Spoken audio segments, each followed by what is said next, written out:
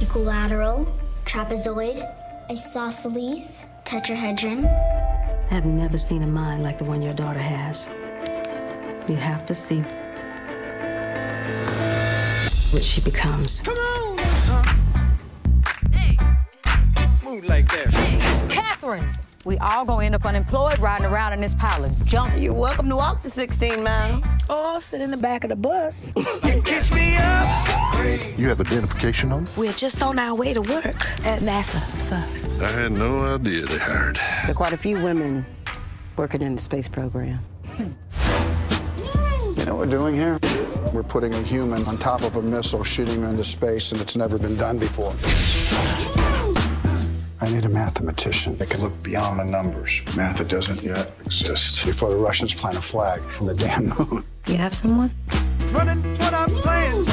Katherine's the gal for that. She can handle any numbers you put in front of her. Don't embarrass me.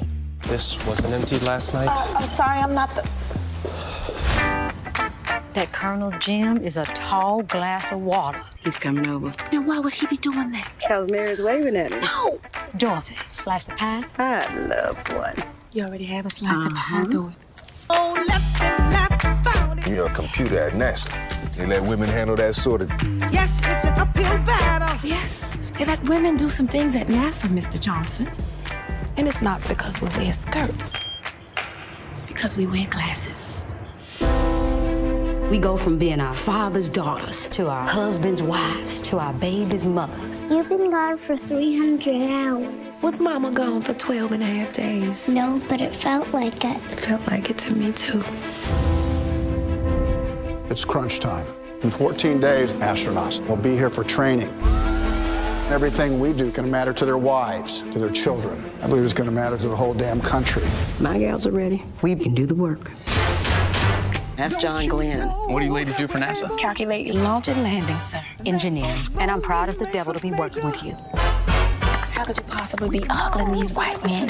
It's equal rights. I have the right to see fine in Africa. There's no protocol for women attending. There's no protocol for a man circling the earth either, sir. Every time we have a chance to get ahead, they move the finish line. Every time. We all get there together, we don't get there at all. It's good to know uh, NASA hadn't given up on good old-fashioned brain power.